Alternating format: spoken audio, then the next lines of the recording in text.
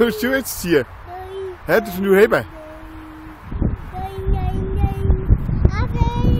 Abholen?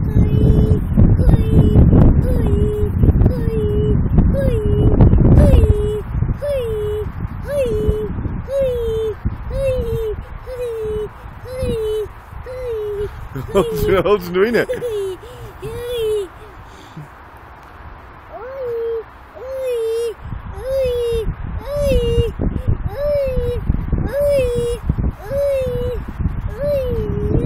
Achtung, musst aufpassen da. Nicht, dass du die Hand schneidest.